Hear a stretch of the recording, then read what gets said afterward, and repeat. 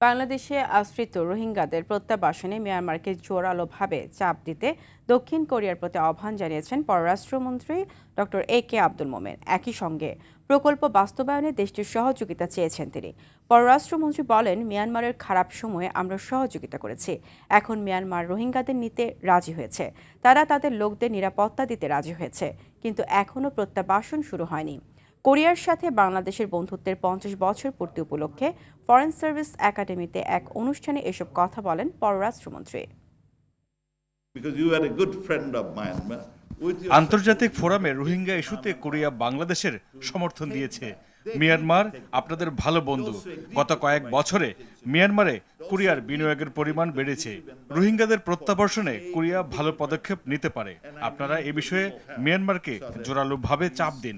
আমরা আলাপ আলোচনার মাধ্যমে অতীতে এ সমস্যার সমাধান করেছি। নব্বইয়ের দশকে রোহিঙ্গাদের ফেরত নিয়েছিল মিয়ানমার। বর্তমানে এক মিলিয়নেরও বেশি রোহিঙ্গা অবস্থান করছে। আমরা এ সমস্যার সমাধান চাই।